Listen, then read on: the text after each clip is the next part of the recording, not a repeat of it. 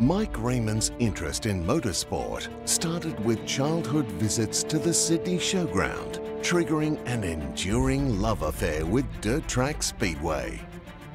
Then as a Speedway media man and announcer, Raymond became part of Channel 7's early coverage of Saturday Night Speedway in the 1960s. But it was Raymond's stint as manager of the now defunct Liverpool City Raceway that highlights an exceptional Speedway legacy.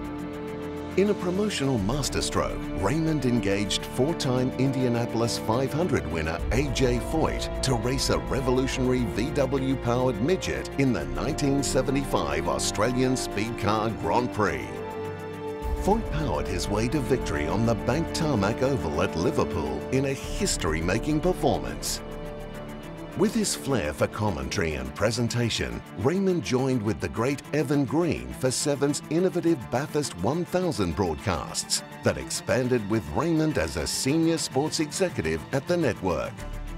In 1979, Channel 7 technicians created a world first with their innovative race cam concept. Raymond's often jovial in-car conversations with star drivers during races was a groundbreaking part of Seven's top rating coverage.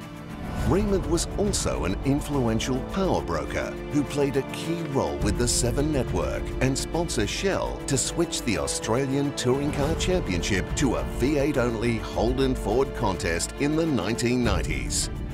That was the platform that evolved into the expansion of the highly successful V8 Supercars franchise.